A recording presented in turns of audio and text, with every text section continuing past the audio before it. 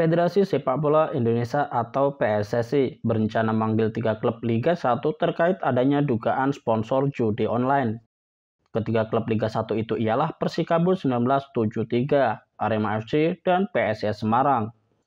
Sekretaris Jenderal PSSI Yunus Nusi mengatakan, dengan tegas akan meminta klarifikasi langsung dari klub terkait.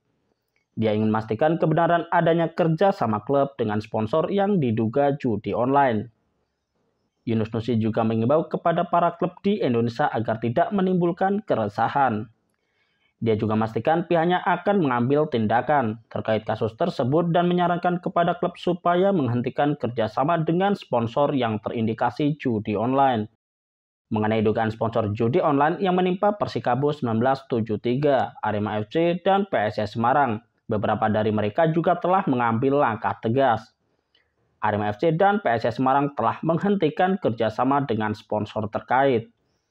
Seperti diketahui, dugaan adanya klub Liga 1 bekerja sama dengan sponsor rumah judi online semenjak adanya laporan ke polisi oleh seorang pencinta sepak bola bernama Rio Johan Putra.